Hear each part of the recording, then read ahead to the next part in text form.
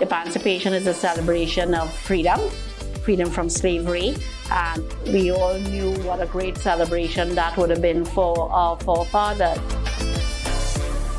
In the foods that we cook at home, much of the origin of it would have come from either the African side or the Indian side.